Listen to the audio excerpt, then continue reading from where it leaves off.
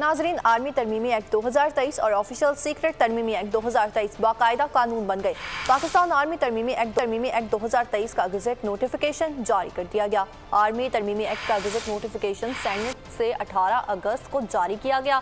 Official secret तरमीमी act 2023 का gazette notification भी 18 अगस्त को जारी किया गया।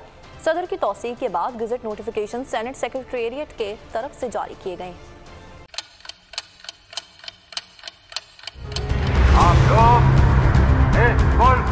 पाकिस्तान में आज़ाद है।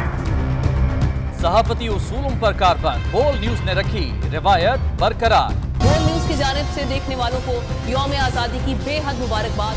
मुल्क भर से जश्न आज़ादी की तकरीबात बोल ने दिखाई अपनी स्क्रीन पर। पाकिस्तान के छिहत्तर में योम आज़ादी का जश्न बोल ने सुनाई पाकिस्तान जिंदाबाद के नारों की गूंज।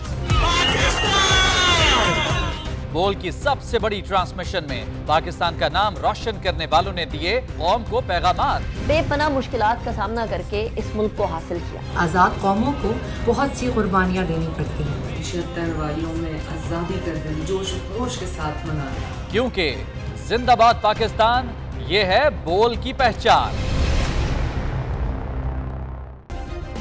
सब्सक्राइब करें और बेल दबाएँ ताकि कोई खबर रह न जाए।